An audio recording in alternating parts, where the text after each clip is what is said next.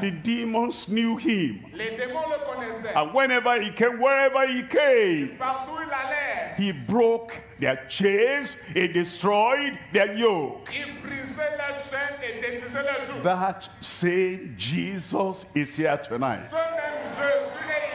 Ce même Jésus est ici ce soir. He will do wonders in your life. Il fera des merveilles dans ta vie. Wonders of salvation. Merveilles du salut. Wonders of healing. Merveilles de la guérison. Wonders of deliverance. Merveilles de délivrance. Tonight is your night. Cette nuit est la vôtre. Where are you there? Let me see you. Que je te vois. Look at me as I look at you. Regarde-moi comme je te regarde. Miracle is coming your way. miracle te parvient. Father, we thank you tonight. Te remercions, Seigneur. We bless your name. Bénissons ton nom. The God that says, I am God, I change not. Le Dieu qui a dit, je suis Dieu, je ne change pas. The Jesus of salvation, Le Jésus du salut, of healing, of deliverance, of miracles, of power manifestation. de la manifestation de la Lord, we come trusting you tonight. Seigneur, nous venons te faisant That what you did before, you are going to do here. que tu as fait dans le passé, And for those online, À ceux qui sont you're going to manifest your power, tu vas manifester ta puissance, your goodness, and your glory. ta puissance et ta And we know Et nous savons that the same power that flowed days gone by will flow into the lives of everyone here tonight in Jesus' name.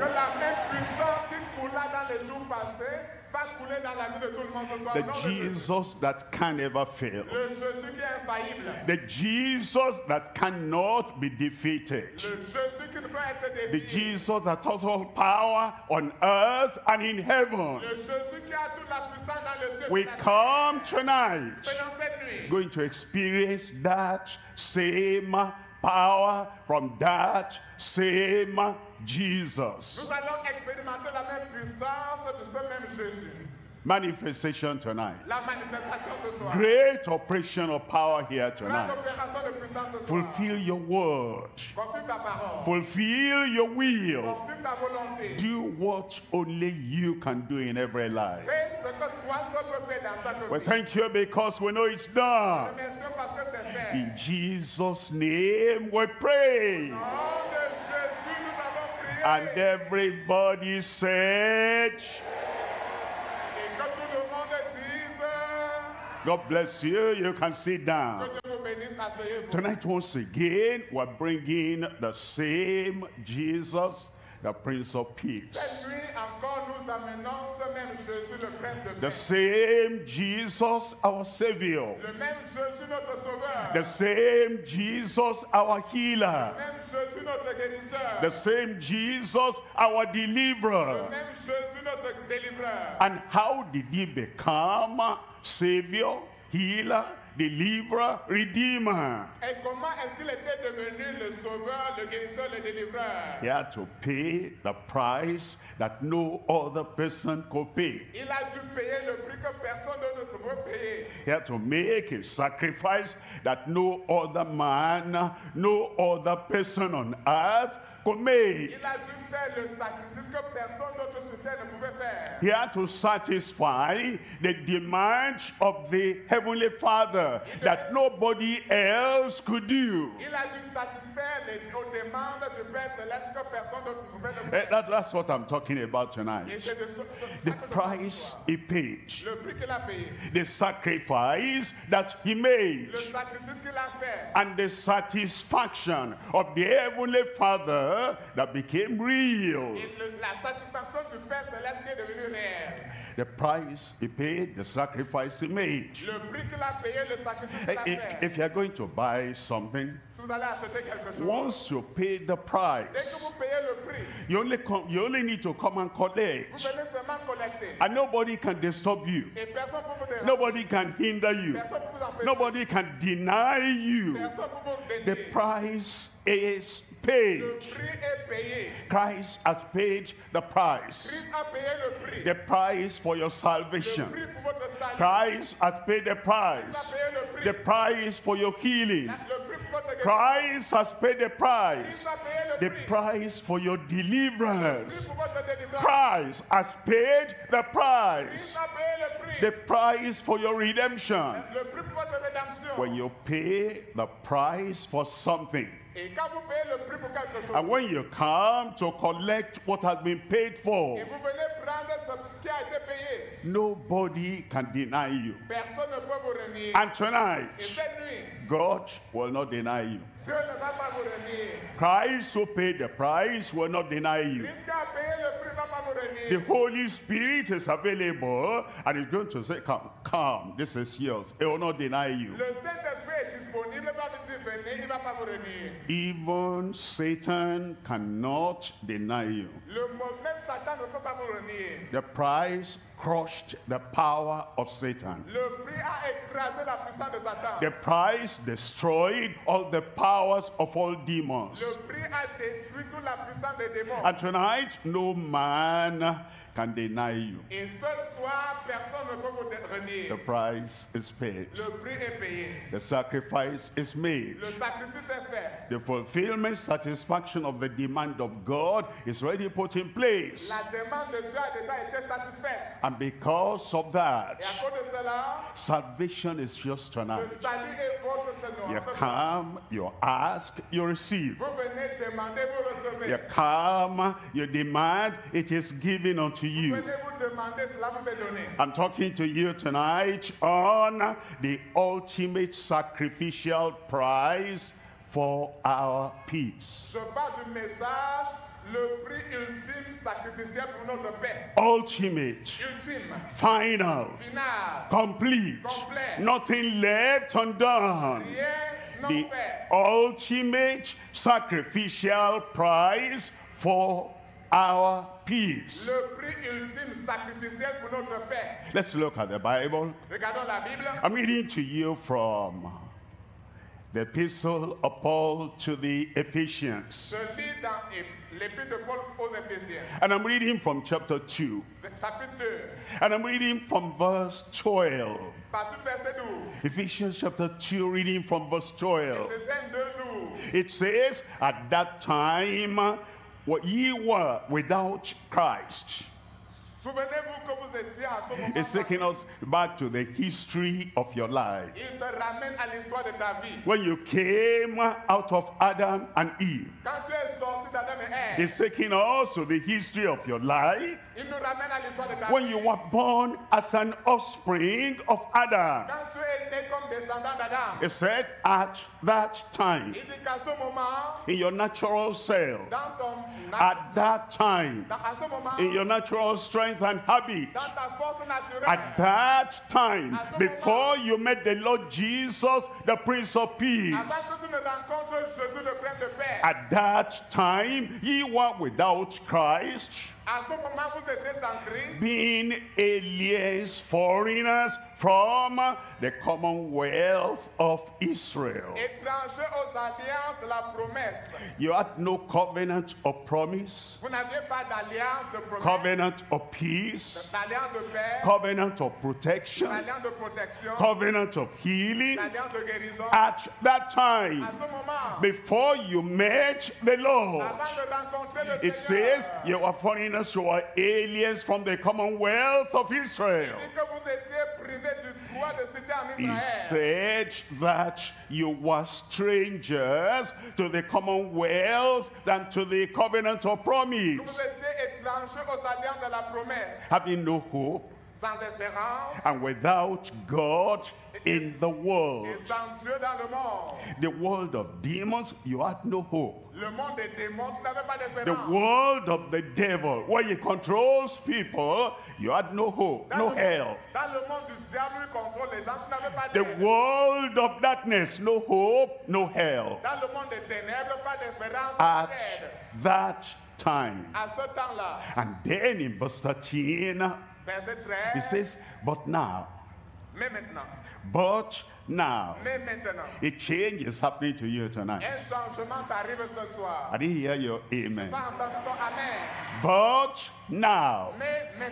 Because the Christ parce que Christ of Calvary, the Christ that bore the cross, qui a apporté la the Christ that came to cancel all your condemnation, qui est venu annuler toute la that same Christ, Ce même Christ, that same Jesus, ce même Jésus, now he has come. maintenant il est venu. And you have encounter with him. Et tu as eu une rencontre avec lui. And you have relationship with him. Tu as eu une relation avec lui. Then we change from at that time to at this time. Et nous passons de ce temps-là à ce temps-ci. At this time, but now.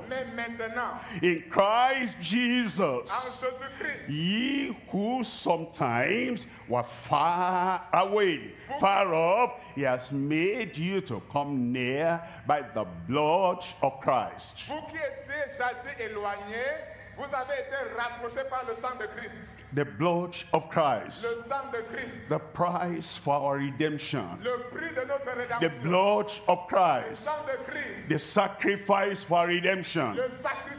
The blood of Christ. that took away your death and took away your penalty. And now you are in God, in Christ, because of that sacrifice and because of that price he paid for you. Et qui a enlevé ta mort, ta, ta punition, et maintenant tu es en Dieu parce qu'il a payé le prix pour toi. It says in verse 14, Verset 14. it says, For he is our peace, Car il est notre Père, the source of our peace, la source de notre the Père, origin of our peace, l'origine de notre Père, the proof producer of our peace. le producteur de notre Père, and the unchanging channel of our le peace. canal inchangeable de notre Père. because he made the sacrifice. Parce qu'il a fait le and he alone he alone did that ultimate final complete acceptable thing. Et lui seul a accompli cette chose ultime, complète et totale. he is now our peace. Il est maintenant notre who has made both one and has broken down the middle wall of partition. Qui a renversé le mur de séparation. Between us. Entre nous. He says, having abolished in his flesh, because of his sacrifice, because of his flesh that was broken for us, having abolished in his flesh the enmity, even the law of commandments contained in ordinances, for to make in himself of twain one new man, so making peace.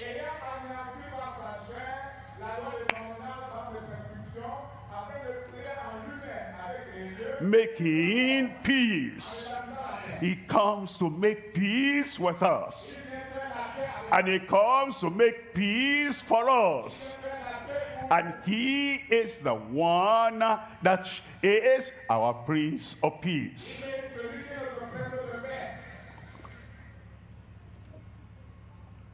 And that peace is yours today. I wanted an amen there. It says in verse 16 that and that he might reconcile both unto God in one body by the cross, having slain the enmity thereof.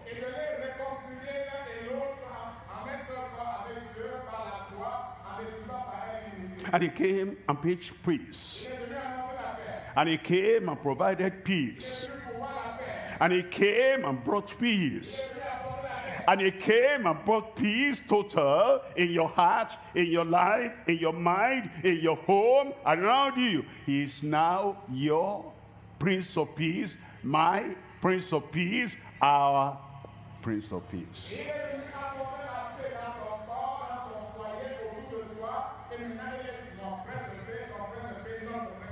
He came and brought peace to you Il est venu annoncer la who are far off, the Gentiles, who are far off in Africa, who are far off in Asia, who are far off in all the continents of the world.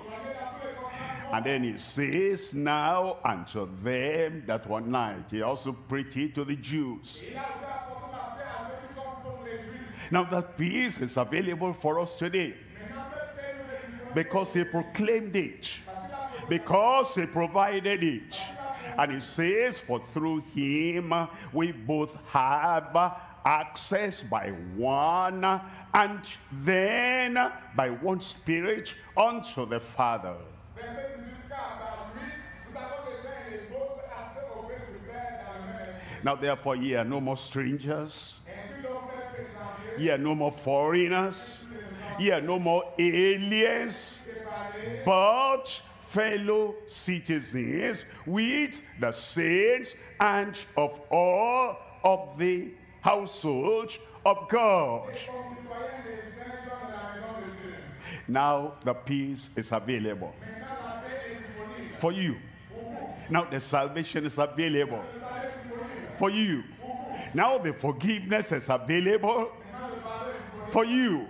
Now all the provision of heaven, all the provision of God, now available for you, for me, for one and all. Tonight, no denial. As you come, you receive. As you come, you are transformed. As you come, the peace of God comes to reign in your heart, in your life. Quand vous prenez la paix de Dieu va régner dans votre cœur, dans votre vie. And everything that brings trouble, trouble, trouble, the Lord will take everything away. Tonight, all your troubles are gone. Tonight, all my troubles are gone. Christ will make it possible in your life in Jesus' name. Eh, you know, I always climb the ladder one, two, three. And when I reach three, I reach the step of the ladder that everything becomes possible.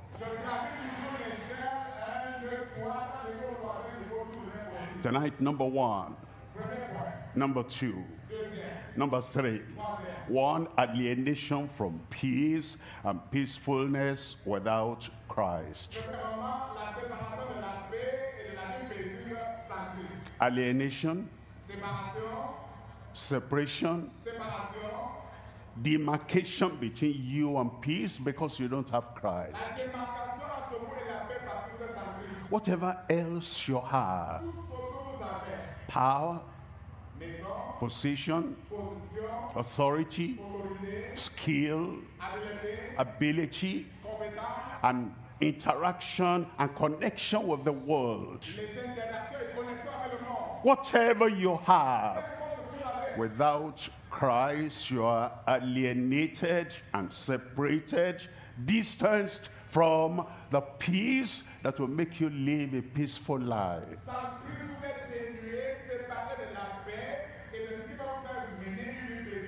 Number one, alienation from peace and peacefulness without Christ. Premier point donc, la séparation de la paix et de la vie paisible sans Christ. Number two, I told you he came to pay the price. And the price is the atonement. Number two, atonement by the price and pain of his cross. Atonement. He reconciles us with God. He takes the yoke of sin away. Il enlève le joug du He breaks all the things that separated us from God. Atonement by the price and the pain of his cross. And then number three, after that atonement, and we're connected with God. After that atonement, and we're reconciled with God. After that atonement, and the wall of partition separation between you and God is broken down. After that atonement, and you come in faith, and you come trusting the Lord, and you come relying on what Christ has done. Then we have number three, abundance of peace through penitence and conversion. Peace abundant, peace overflowing, peace in every area of your life. Because you are penitent, because you repent. And because you come to the Lord in true conversion. That now we have abundance of peace through that penitence and conversion. Alors tu as l'abondance de paix à travers la pénitence et la paix conversion. Look at number one there. Number one is alienation, separation, demarcation from peace and peacefulness without Christ. I want you to remember the first verse I read to you. You say, I don't remember that now. But I'll tell you. It's in Ephesians chapter 2, verse 12. Ephesians chapter 2, verse 12. It said that at that time, at that time, maybe yesterday, at that time, maybe last week in your life, at that time, your past life, your past situation, your past history, that at that time, when you were alienated and separated from the peace of God because you didn't have peace, that at that time ye were without Christ, without Christ, without the Savior, without Christ, without the healer, without Christ, without the helper, without Christ, without the heavenly deliverance. That at that time ye were without Christ. And then it says, being aliens and foreigners and strangers from the commonwealth of Israel. And that we were strangers and were foreigners to the covenants of, of promise. Having no hope, having no help, having no peace of mind, having no power from God, having no divine ability. You are like straw. Your backbone of conviction like straw. And your decision, your determination like straw. You couldn't stand. You had no Christ, no hope, no help, no stamina, no steadfastness, no conviction. You couldn't maintain any determination.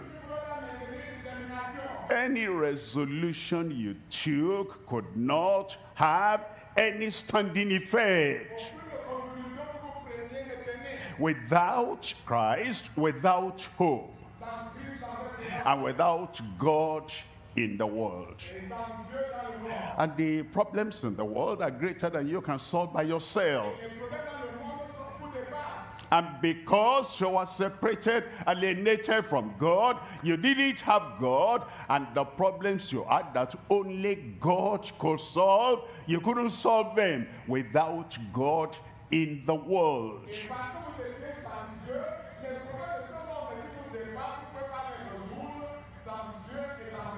That was the story of everybody. That was the story of every man and every woman. We were weak in the flesh. We were weak in the fight against evil. We were weak, we had no strength, we had no divine ability, and we failed and failed and failed and failed. That's why we're told in Romans chapter 3. And he tells us, and the way of peace they have not known. We wanted peace, but we, didn't find the way to peace. And then we said, I'll not fight anymore. I'll not be angry anymore. I'll not be violent anymore. We add the desire, the desire to be peaceful. But the way to get that done, we could not find. And so, even though we said, I will not, yes, that's exactly what we did.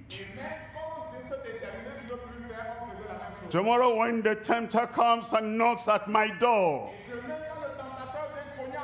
I will look at him, I will look at her, eyeball to eyeball, and say, No, you cannot do that without Christ, without God. And so the tempter came and uh, you, you forgot all your resolution and all your determination because without Christ, without God, we cannot have that backbone, we cannot have that strength, and we cannot have the victory over the enemy.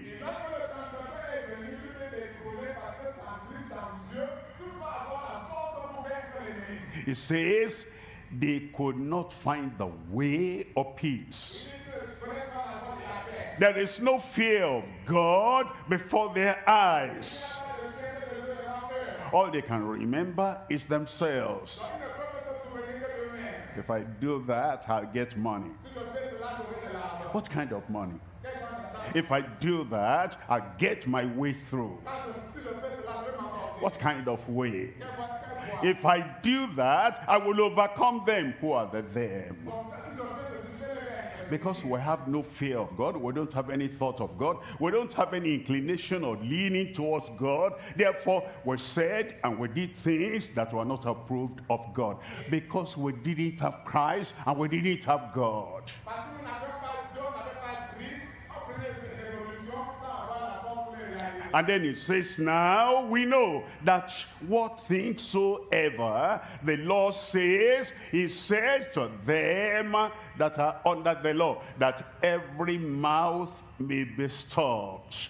Every mouth may be stopped. And all the world may become guilty before God. Alors,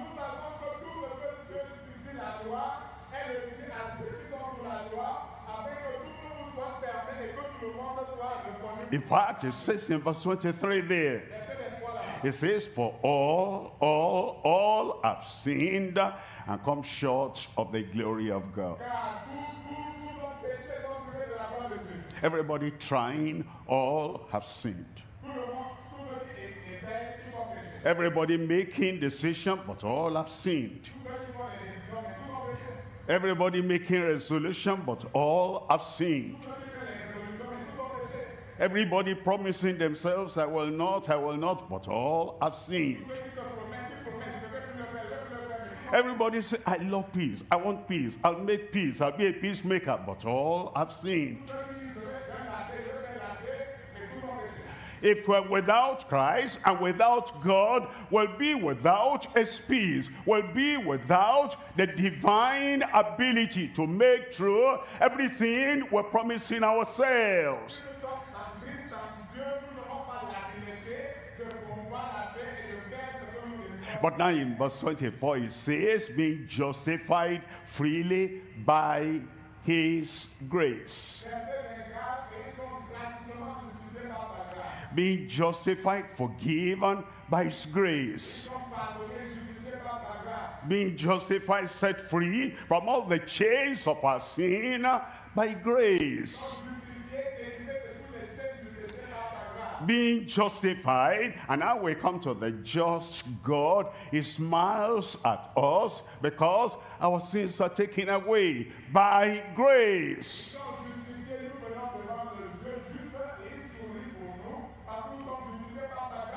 Through the redemption that is in Christ Jesus. He paid the price. He made a sacrifice. He fulfilled the law's demand. And because of that, now we're justified, now we're forgiven, now we're set free. And as you come tonight, you are coming to Christ tonight. I said you are coming to Christ tonight. Where are you? I said, where are you? He will help you tonight. He will save you tonight. He will forgive you tonight. All those things at that time, he will change and turn to at this time. The confusion in your heart will go away. The condemnation in your heart will go away. The conflict in your heart will vanish away. And all the, all the conflict and everything, the commotion, it's like there are two personalities fighting inside you.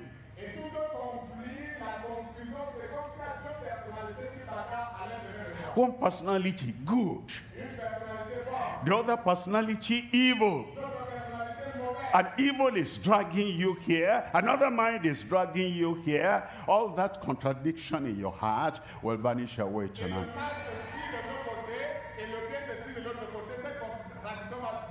Because the Lord is going to have mercy on you. And by the price that Jesus paid, by the sacrifice of Christ at Calvary, and by the fulfillment of the demand of the Almighty God on your behalf.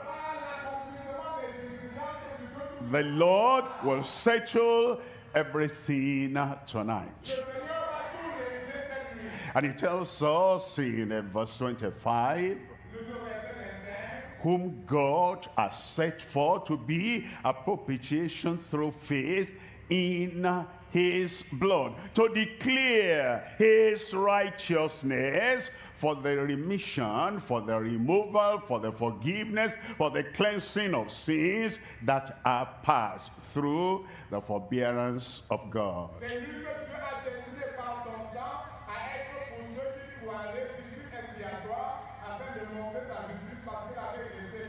You are without Christ. That's the reason for all the problems in your life. Now you come into Christ. And that is the source of all the solution of every problem in your life. The Lord will do it tonight. For you. For me. For me. He'll do it tonight in Jesus' name. I come to point number two now. Atonement by the price and the pain of the cross. Nobody could have borne that pain. The pain of the broken law. The pain of defiance and disobedience. The pain of the punishment for our sin. The pain to suffer on earth and in eternity in hell forever and ever.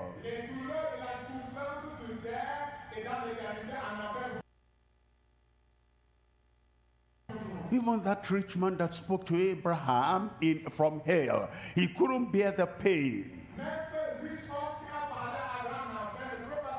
The pain and the torment. But Jesus has borne that for you and for me.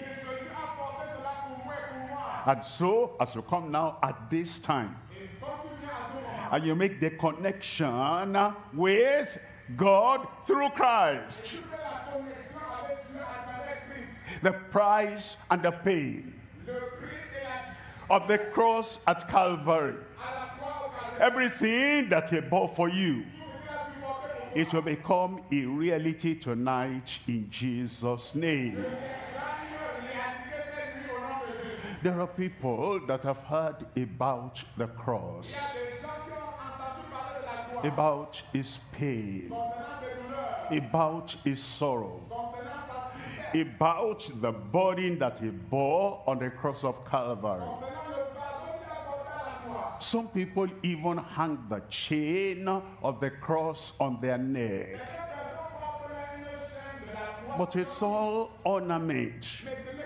They do not understand and they do not plug in to the result of that pain of Christ. That's why Lamentation chapter 1 verse 12. Lamentation chapter 1 verse 12 says, Is it nothing to you? The pain of Christ? Is it nothing to you? The pain on the cross? Is it nothing to you? The pain of condemnation that he took away for you? Is it nothing to you? The pain of the suffering for your sin. Is it not, is it nothing to you? They, we go to church. We sing in church. We hear sermons in church. And yet we do not consider the pain of Christ at Calvary we try to give some money. Of course, you know, we're not giving the money to God. We're giving the money to run the administration of our local assembly. That's not a big deal we, we pay tax in our country, we give money, and we have to because of constructing the road and because we are going to, you know, sell in the market, because we do this, and that's no big deal. We pay tax in the country, and then we give money to the administrative work in your local assembly. That one doesn't bring salvation. We have to do it, but it doesn't bring salvation.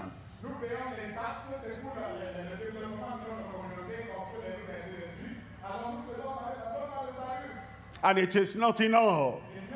It's the pain that Christ bore on the cross of Calvary that provides our peace, that provides our settlement in the mind, and that, that, that uh, gives us the salvation of the Lord.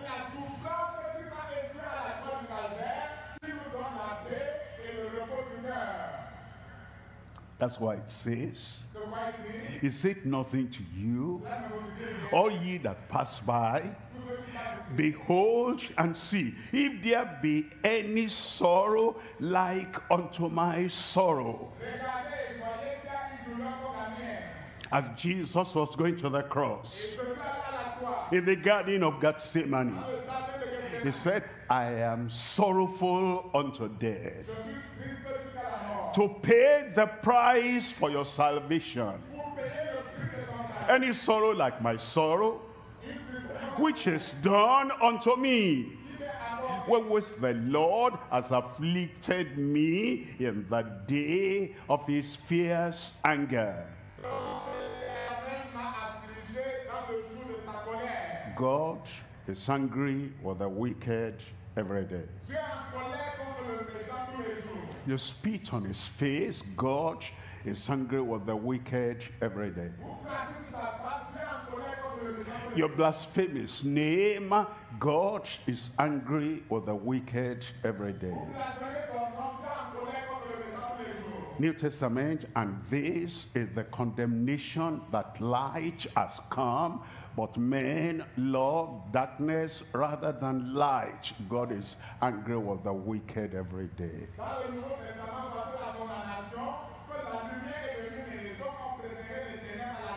You, blas you blaspheme his name. You call his name in vain. You lie against God. You lie on behalf of God. You are hypocritical. And God says he will judge every idle word. Every idle action every evil we do against our neighbor.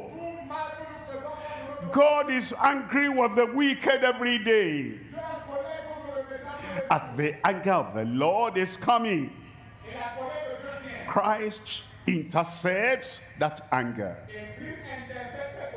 And he became the shield against the anger. And instead, instead of the anger getting directly to you, it came to Christ.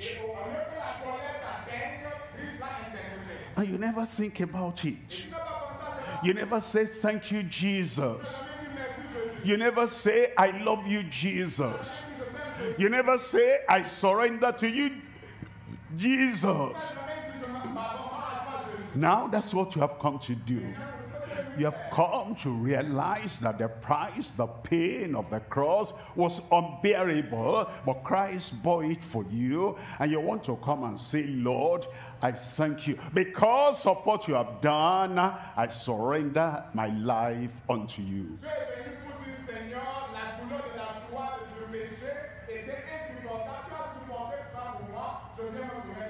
That's why it says, Is it nothing to you?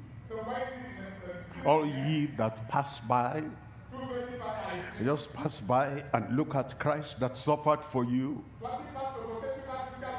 You didn't stay in front of him and say, sorry, I'm the cause of the crucifixion. I turn, I repent, I'm the cause of your pain. Je me répands, je suis la cause de tes douleurs. I will not go that direction again. I believe in you because you love me so much, and I submit, I surrender unto you. Don't pass by anymore. Stay in front of Christ and say, Lord, I come, I come. He says, There's no sorrow like my sorrow. In the sorrow and the pain and the suffering I bore for you. Your sin brought shame. I bore your shame. Your sin brought reproach. I bear your reproach. Your sin would have brought sorrow eternal, everlasting on you. He bore your sorrow. Because of that, took your sin, took your shame, took your suffering, took your reproach, took your damnation, took your eternal perdition. That's why you come and say, Lord, what can I do? I give my heart, I give my life unto you forever. It is then we come to Christ. He becomes our Savior. He becomes our Lord. That's why Ephesians chapter 2 verse 13 says, But now in Christ. Pourquoi Éphésiens 2, 13, dit, maintenant, We're no more without Christ, but now in Christ. We're no more against Christ, but now in Christ. But now in Christ Jesus, ye who were sometimes far off are made near by the blood of Christ.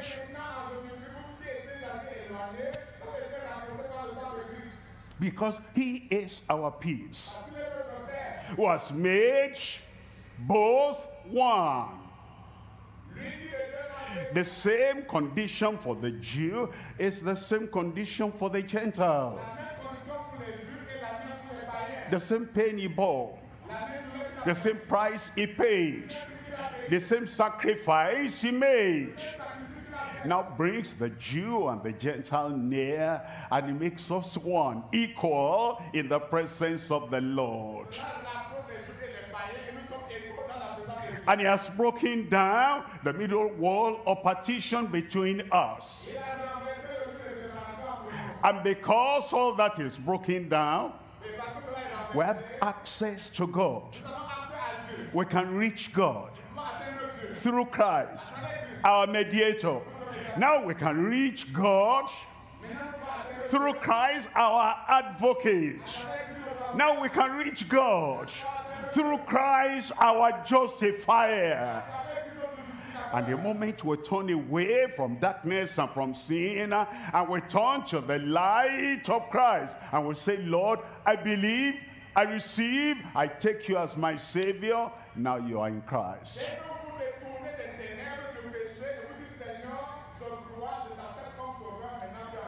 That's what you'll do tonight. I said that's what we will do tonight. Are you not going to do it? I said, Are you not going to do it? Eh, when I said uh, that's what we are going to do tonight, why don't you say yes and amen? I'm going to say it again. I'm giving you a chance to respond to Christ. That is what we are going to do tonight.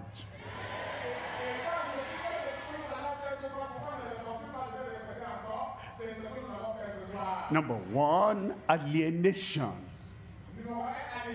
Number two, atonement. And now that we are penitent and repentant and we come to Christ, he has made the atonement already. We just, we just collect, we just receive the result of that atonement from the Lord.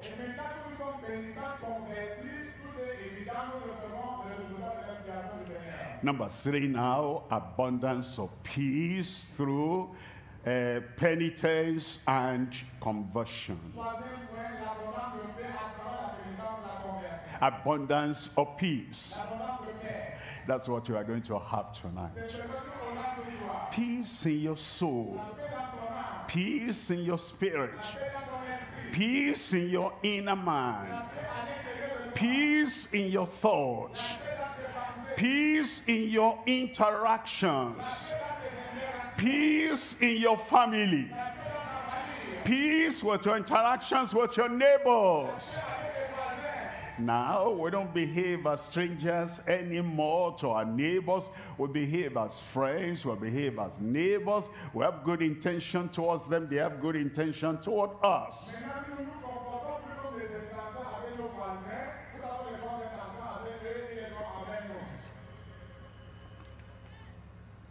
peace. Are you there? I said peace. That's what we're told in Ephesians chapter 2 verse 15. Having abolished in his flesh. The enmity. Even the law of commandments that is contained in ordinances.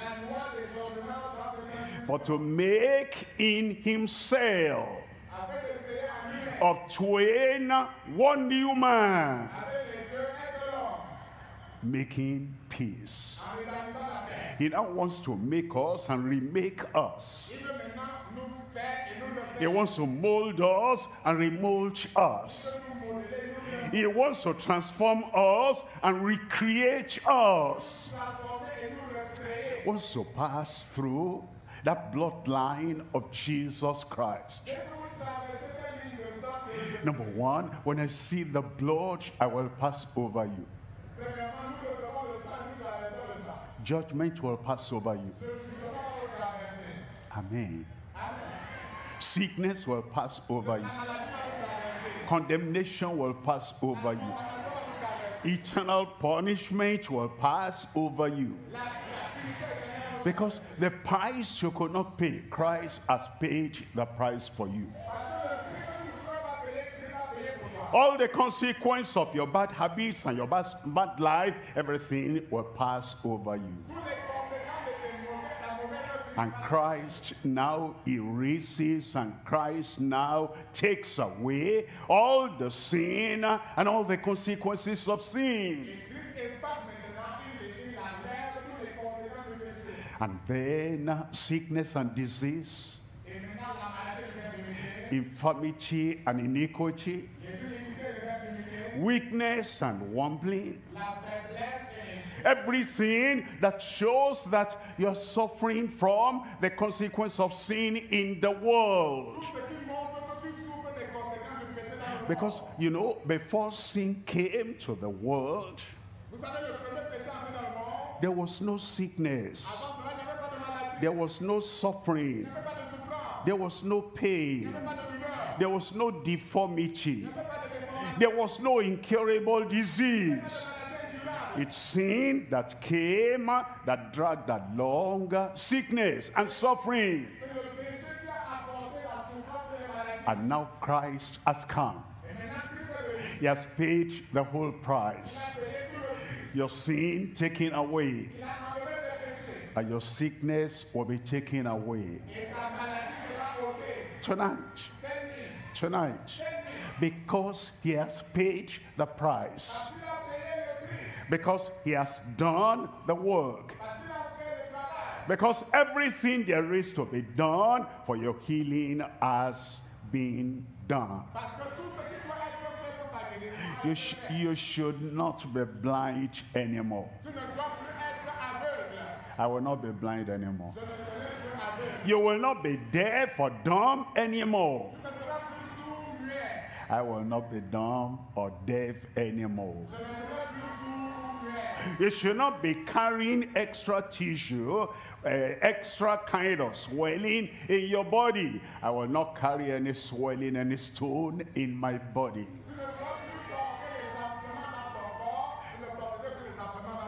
I will not be walking about with backache. Pastor, straighten up. I have backache. Pastor, stand right. No, I cannot because I have this back pain. I will not carry back pain again.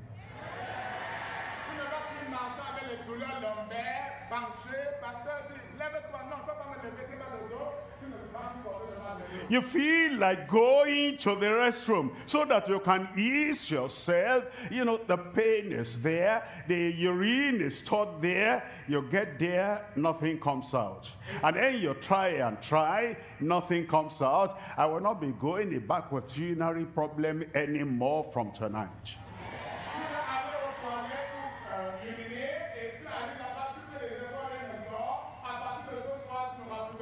He has come to take that problem away. Diabetes will vanish away. Ulcer will vanish away. Tuberculosis will vanish away. There's something there. The say is as hard as stone. And for the first time, it wasn't paining you. But now it's bringing some pain.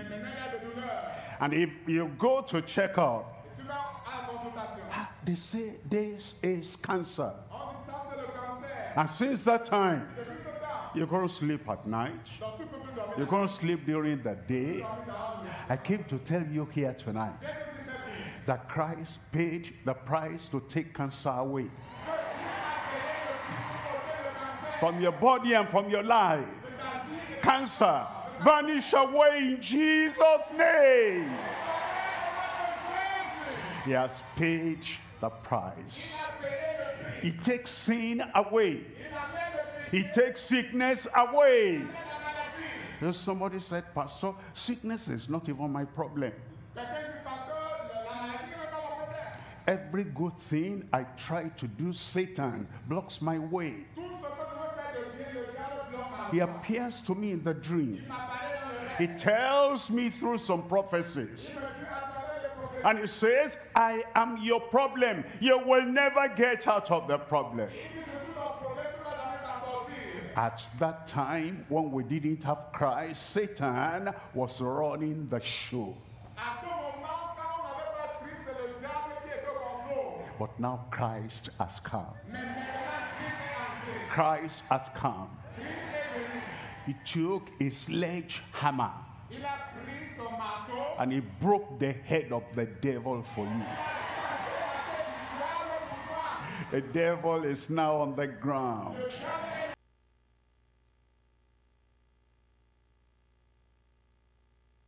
And go free. Because Christ has paid the price. And as you come to Christ today, in the past, you were helpless. Today, Satan will be helpless. Sickness will be helpless. Demonic spirit will be helpless. When I say go, is helpless, he has to vanish away. Are you ready? Are you ready? The punishment of your sin taken away. Are you ready? New life coming to you. Are you ready? Salvation. Everybody shout salvation. Your salvation has come. Heads bowed and eyes closed. Heads bowed and eyes closed. You want to give your life to Christ. Remember, if you are without Christ, you'll be a foreigner to the blessings of God. You'll be hopeless and helpless.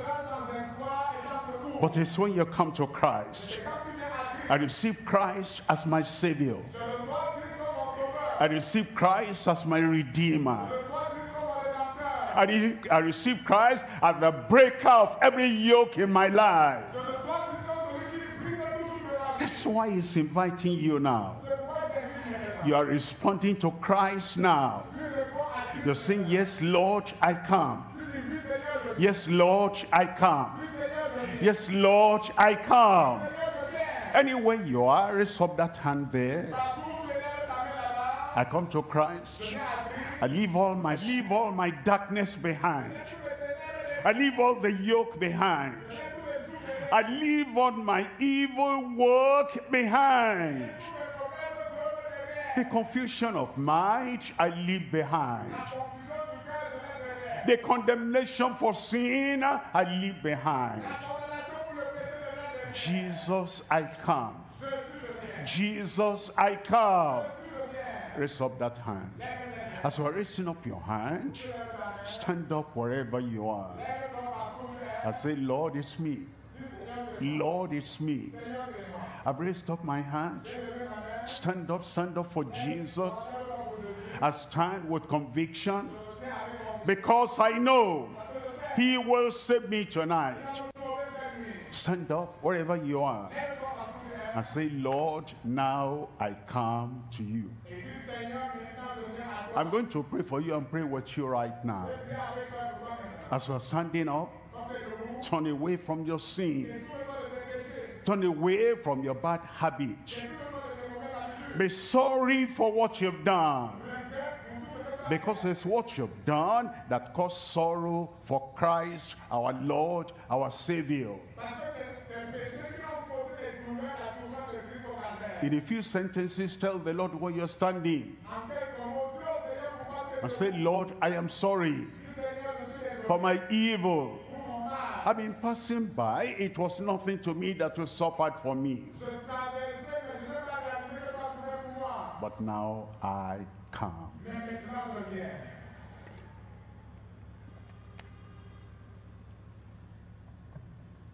Let's pray together now. Father, we thank you tonight. We bless your name for the freedom, for the forgiveness you offer everyone. Thank you, Lord, for giving us understanding that it was our sin that nailed you to the cross. We feel sorry for that. We feel the pain of our evil deeds. And I pray, Lord, you make everyone that comes to this realization to turn away from sin, to be penitent, and to repent of their sin in Jesus' name. Je prie, Seigneur, que tu amènes tous le- tous ceux qui sont venus à la réalisation de ceci, à venir à la repentance progressive au nom de Jésus. You said, Whosoever comes to you, you will no wise cast off. Forgive them, Lord. Set them free, Lord. Take the yoke and the burden of sin away from their lives now in Jesus' name. And let the Spirit of God bear witness in their hearts that their sins are forgiven. Que le Saint-Esprit de Dieu témoigne à leur cœur que leurs péchés sont pardonnés. Grant them the possession of a new life. That everything that was at that time, at this time now, everything will change for the better. Grant your peace and your pardon to everyone, here as well as online, over the radio, over the television, everywhere. Sur la radio, la confirm the forgiveness, the salvation in every heart right now. Thank you, Lord, because we know it is done. It is done. In Jesus' name we pray. Praise the Lord, the forgiveness has been given. Gloire à Dieu, le pardon a été accordé. Praise the Lord, the salvation now is sure. Keep on standing. Our counselors will come to you there. And we'll call on our moderating overseer to help us during this time.